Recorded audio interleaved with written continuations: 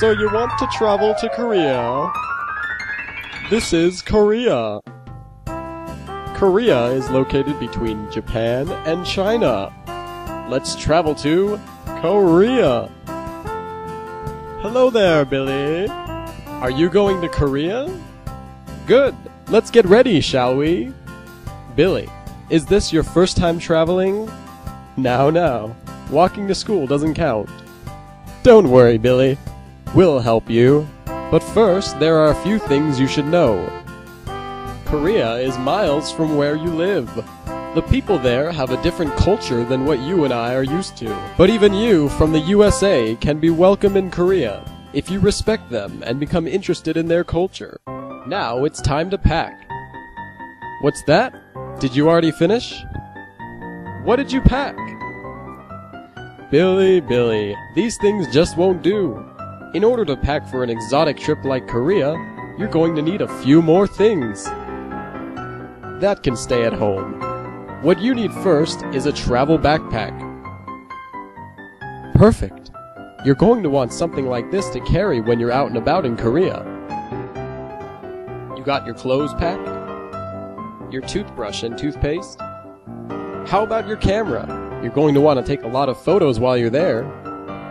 Oh, and don't forget your charger. Deodorant's important too, because Korea in the summer is very hot and humid.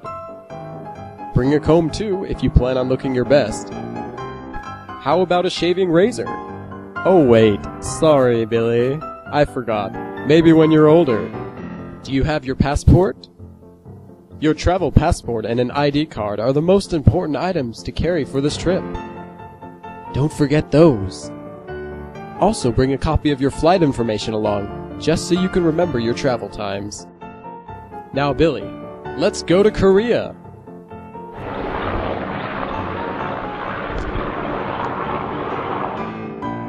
You've made it! Welcome to Korea, Billy! Let's start our journey. Uh-oh, Billy. What's that?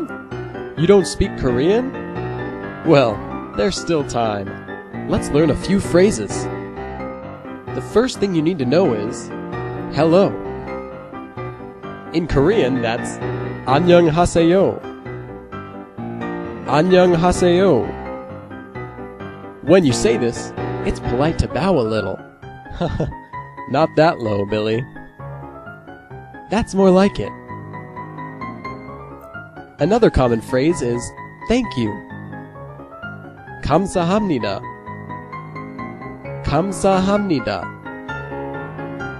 Remember to say this often, Billy. Koreans like to be polite. Now, let's learn the words for yes and no. Yes is nay, nay. And no is anyo, anyo. How interesting! The Korean word for yes sounds a lot like the English word nay, doesn't it? Next, here's how you say good or great.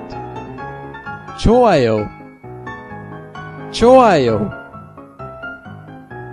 I think you will find this to be very useful. When you go to the store and you want to ask how much an item costs, you say 얼마예요? 얼마예요? Good. And finally, when things just aren't going your way, you can always say 한국말 못해요. 한국말 못해요. Which means I don't speak Korean. Well, how do you feel now, Billy? Great to hear. 좋아요. And remember to take lots of photos. After all, you paid over a grand for your plane ticket. But I'm sure you brought plenty left over for souvenirs, food, and lodging. We hope you enjoy your stay. Goodbye, Billy.